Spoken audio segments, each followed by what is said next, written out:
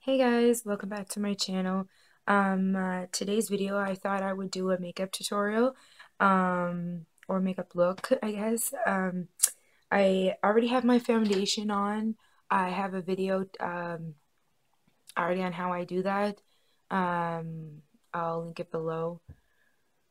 I, just for a quick reference, um, I use Prime Master by uh, Face Studio it's a base for your foundation or primer. And I use CoverGirl in 505 in the liquid and 510, which is classic ivory in the, oh, actually I have 510 and I have 505, uh, 105. So these ones are different. The clean matte are different than these, I guess. Uh, I am 510 in these ones and I'm 5, uh, 105 in those but these are usually what I powder with. So that, like I said, has already been done. I'm going to start off uh, going into my eyes. it's kind of like um, the 180 palettes or whatever it is. There's not as much there, but that's the, the idea of it. And I also have my Hard Candy palette that um, I don't mind. The shadows don't come as pigmented as um, some do, but let me get this open now. And I like using um, like this shade and um, this shade and these shades here aren't too bad, but I these shades um, and also the purpley color, purpley brown color here. I find that they're nice um, just to lid on the color for transition colors. I'm going to leave that open some. So when I go to use it or if I want to use it, it's open. Okay, so I'm going to jump right in. Um, this look is going to be um, one that I don't normally, um, wasn't normally doing until recently but I kind of fell in love with it. So I thought I would recreate that one um, since it's the most recent one that I've been doing. Um, usually now I don't even do um, eyeshadow and all that. I'll just do liner and mascara lashes, do my eyebrow, and I'm good to go. Um, kind of tone down when I normally do. So um, this was what I was doing when I was doing like full makeups. Um, I was starting off with, I don't know if my camera will pick it up that great, but I was starting off with this color right here. Um, I guarantee it's not gonna pick it up in um, the color like it's supposed to on camera, but um, that is the color. It's uh, tanny brown. It's a very light and shimmery color. Um, I am going to attempt to not only let you see, but use a, maybe a mirror just so I don't. I might be able to use the, the screen, but I'm not sure. So, but I'll start off there, and I take this color and I put it not anywhere like it doesn't really have to be really neat, but I just put it right here for part of the transitioning color. Um, this I find is perfect for me, I am, you guys should still be able to see what I'm doing. So I'm going in with this, and I basically take it, and I started by just putting it right here. Then I um, started taking it right to my brow. So that's what I'm going to do. I'm going to do it the way that I revised but I take and I put that all here. It helps to transition nonetheless. Um, I have a little bit of fallout. I like to wipe it right away, and I just usually take a brush and lightly dust it off. I'm going to do the other side now, the same.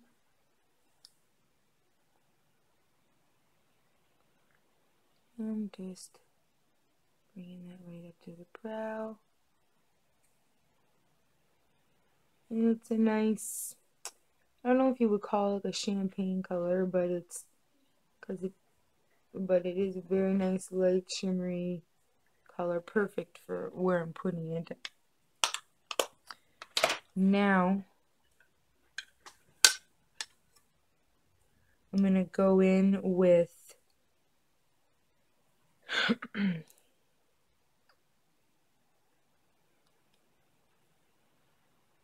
this color in this palette. And this is just going to give it a little bit of depth before I put in the other color. The other color is a color that I definitely don't normally use, um, but kind of like it with this look. But then I just start putting a little bit of, you see, just get a little bit of depth in here. So I don't have to go as crazy with the other color. And I find that this look definitely helps, uh, this color rather definitely helps make everything blend nice. And it's nothing crazy because it's in that palette, the hard candy palette. They're not overly pigmented. I mean, they do show up and you'll see it more um, in person than you would probably on camera. I know you can see it though. Like this depth right here, that's all that.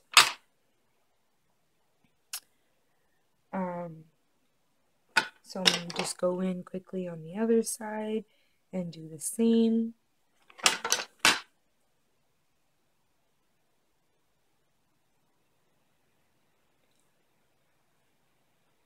I'm just going to give that some definition. I did the other side. Try to get them same and even, so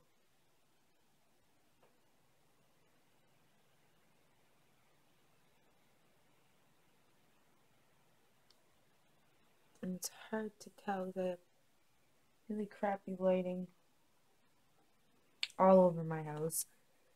When I can do my makeup, usually I do it in the bathroom into the natural light as much as I can, but I can't film that well in the bathroom, like not for a makeup tutorial because I couldn't be able to get where you can, you know, like up close to the camera like that.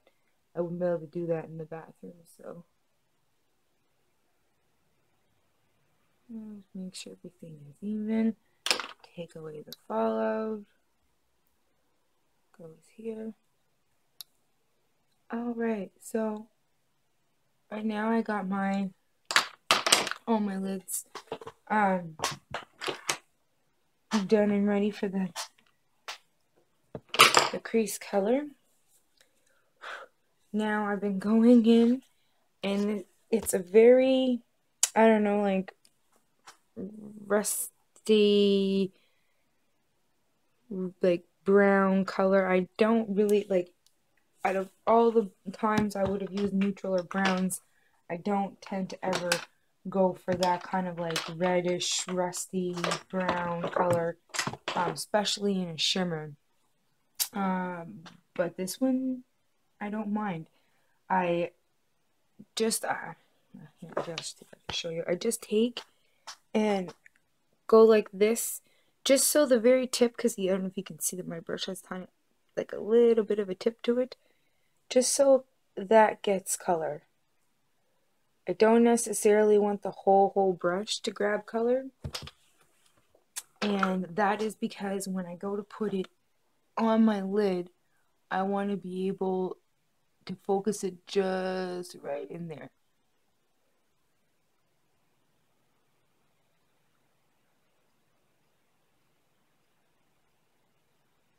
Just right in there like that. And this just gives extra definition. It adds a little bit of pop of color since everything is pretty dulled down and neutral. And I just blend that on.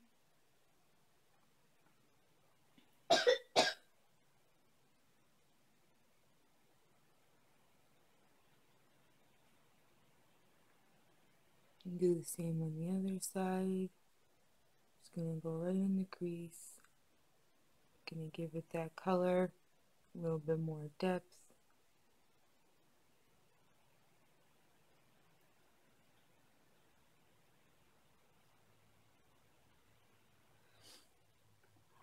and the funny thing is, is that whenever I um first did it the very first time that because I would just when I come up with this look the first time I was just kind of playing with my makeup and um I I uh, didn't know what to put the lid color. I wasn't really sure what it should be. I wanted something that would go with everything, um, but not stand out too much or be too dark. Now it's hard in this crazy. I mean, you can see the makeup, but it's hard to tell it like it's even and whatnot from this lighting. But then I take for the lid and I go in with okay, this one right here. And like I said, it's just being awful today. It won't won't show any colors up with at all, but it's like a very light pink, um, like shimmery pink.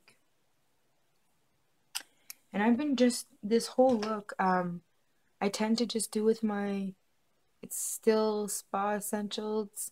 It's just a Walmart brand type of brush. I really like it. I find it suits me just fine. Um, normally I would switch up brushes, but I've been really liking this one lately just for this look for everything. I just find it makes everything kind of go on the best. And I just, after I just pat it on, um, not like swirl it like I would, I just kind of pick it up like this off the thing and then apply it the same way and I just pat it on. So the nice transition of the the pink will go on the lid and you'll be able to see it. Otherwise I find it will it wouldn't show up or it'd be something that either would take away from what the makeup look was supposed to look like or you know just make it like you wouldn't be able to see it and I wanted to be able to tell I had something there. Something also that would brighten up the lid. I wanted the lid to be bright um, because I was doing everything else like this darker and then this is not even like that bright of a highlight. It's more of a shimmery color than like a lighter color that's highlighting and um, I thought that I, know, I just like the pop on the lids. Okay. So now when I get to this point, usually I make sure that I have all the fallout cleared off, that there's nothing left to smudge around anywhere.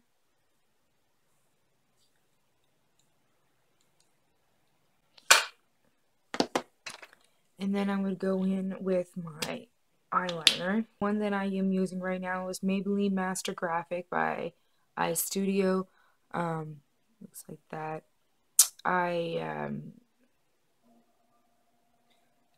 I don't mind it, but I would love to also have a new one at the same time, a different brand. Kind of sick with all line of all eyeliners. Um, unless you're gonna spend lots of money on real, real expensive ones, which um, I don't have the luxury to do. The ones that are just Walmart brand are expensive enough for me. So, whereas I love makeup, but I don't like having to spend an arm and a leg on it. As long as it's good quality enough, um, as far as eyeshadows go with pigment, that's That's all I need. Now I have my eyeliner on. I'm just going to quickly do that to the other side. okay.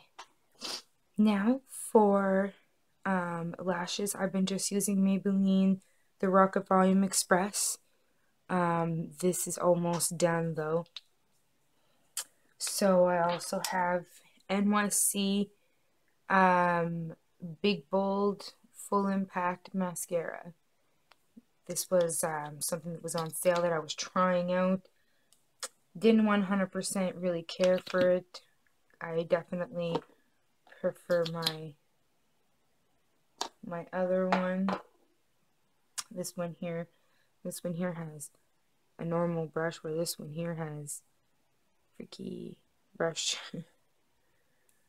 but anyways.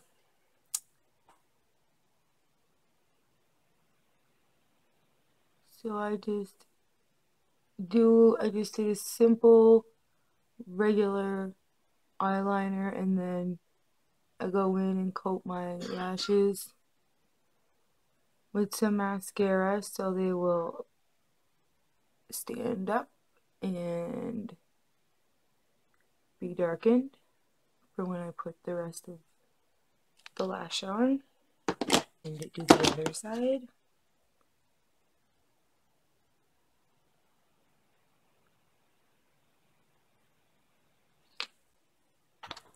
Alright, um, now I'll move on to my eyebrows.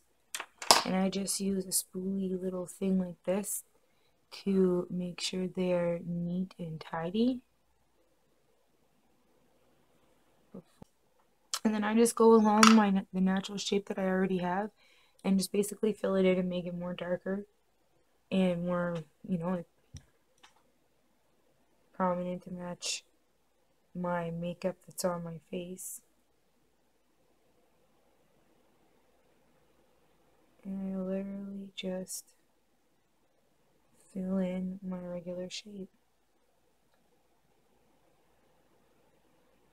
I don't try to do too much else with it. Um,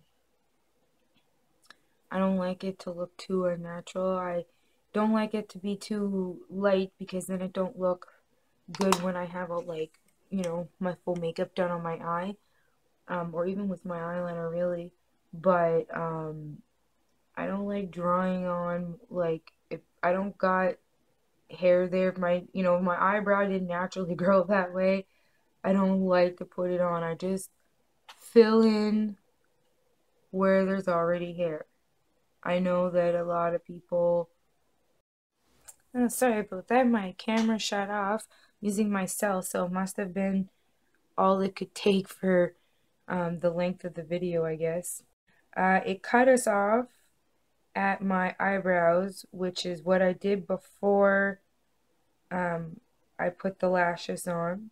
So you got to see that part. Now I just take, um, all I showed you is that I use Ardell Lash Grip Glue um, and Duo. This is just what I'm using right now. Um, and this is the type of lash that I'm going for. It's two lashes stacked. I'm just going to let that dry for a second. Now I'm um, now I'm going to put on the other lash and show you how I did it. Uh, I just go and stick them on if it's not totally ready to stick still, that's fine with me because it gives you time to be able to adjust the lash and move it around to fit the eye the way you want it to. Uh, also, typically I do this with two hands. So I can get this lash to bend. The one that I'm using is a cheaper brand and they are more heavy and hard and stiff to work with, but they give me that look that I'm looking for, and I don't have to stack. Look, I stack these. You don't need to be ruined since they're expensive. So, So then I just stick it on like that. Make sure it's secure and that the lashes are even. And then once my lashes are on, I check my um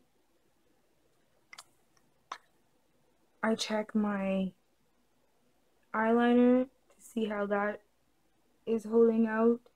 Um, I don't ever really care if I get glue on it because it, it dries clear, the glue that I have.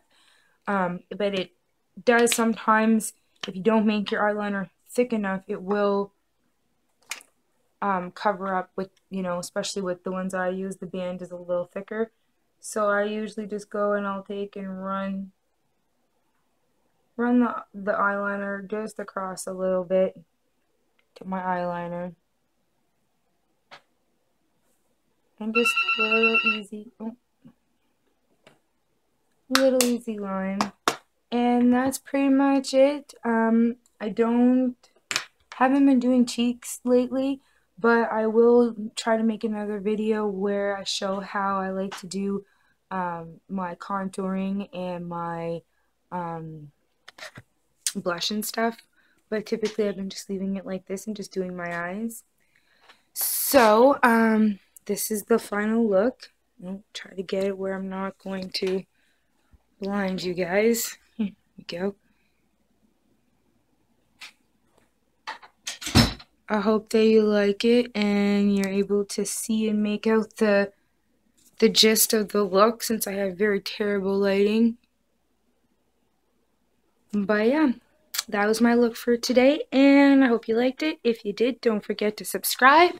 And if you like this video, don't forget to give it a thumbs up. Alright, bye guys.